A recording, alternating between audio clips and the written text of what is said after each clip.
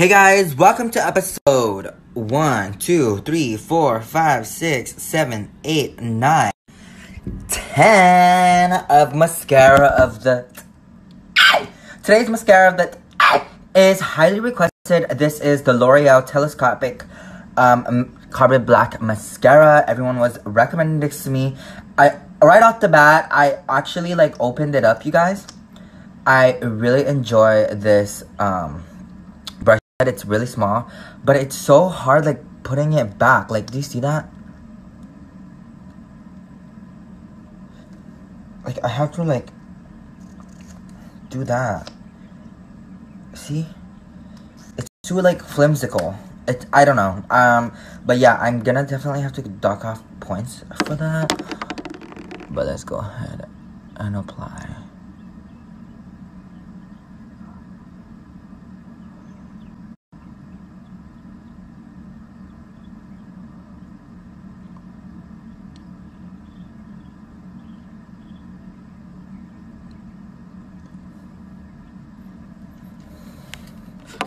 Okay, we see you though. We see her. We see what she's trying to do.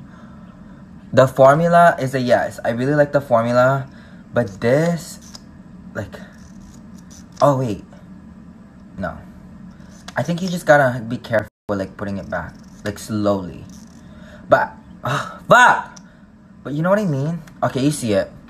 It's shaped like a telescope. But yeah, let's do the bottom lashes.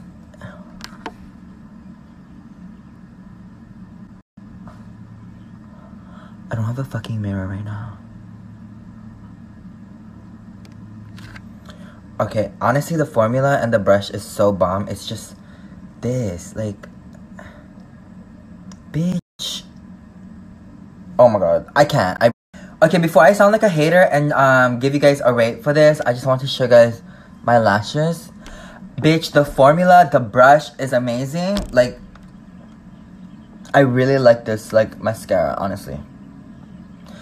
But y'all, I cannot deal with this shit. Like I you have to like go slowly. Like even going slowly, like okay, I'm trying to focus. Like you literally have to focus to put it back in.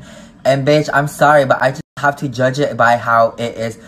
Um, like the formula, the brush, the functionality, bitch, everything, the packaging, bitch. Okay, so just keep that, just keep this in mind before I rate it.